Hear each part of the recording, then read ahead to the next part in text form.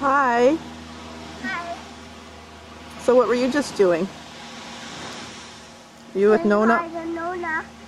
Yeah. Okay, bye. Oh, but wait, come here. I want to ask you some questions. Where are you going right now?